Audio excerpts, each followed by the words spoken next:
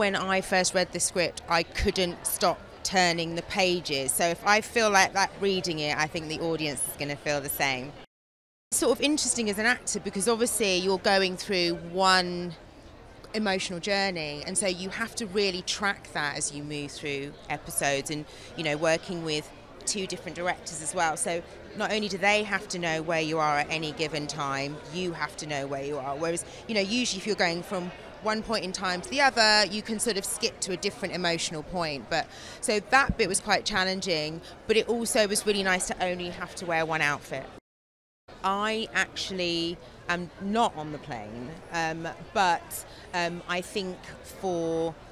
the people on the plane, I imagine it began to feel quite real in terms of being in this confined space, which I believe was pretty much sealed once the camera was rolling. So I think when you get to work in an environment that feels